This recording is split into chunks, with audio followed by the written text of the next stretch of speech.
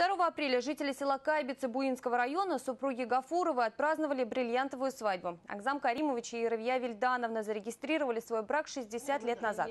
Акзам Каримович всю свою жизнь работал трактористом, а Равия Вильданова работала на ферме. У супругов трое дочерей, два сына, шесть внуков и шесть правнуков. На вопрос, в чем же секрет столь долгой счастливой совместной жизни, они отвечают, что самое главное – это смирение и терпение в отношениях, а также каждый день видеть счастливых детей.